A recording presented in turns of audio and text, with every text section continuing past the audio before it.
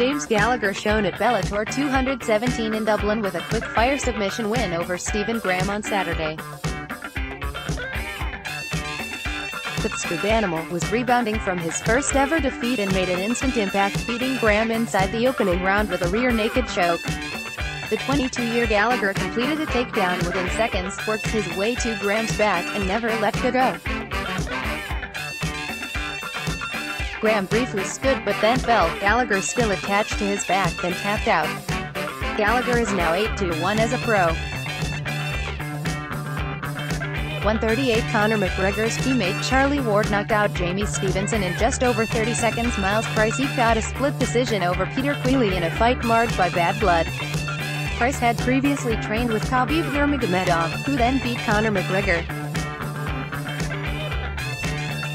Queally is a training partner of McGregor's and was trying to exact a measure of revenge. Kiefer Crosby submitted Daniel Elenichak with a rear naked choke. 201 Kiefer Crosby submitted Daniel Elenichak by a rear naked choke to win his second Bellator fight and take his professional record to 6-0 Richie Smullen out-grappled Adam Gustav to a unanimous decision win. Sky Sports fight dates announced. Bellator 218, Sanchez vs.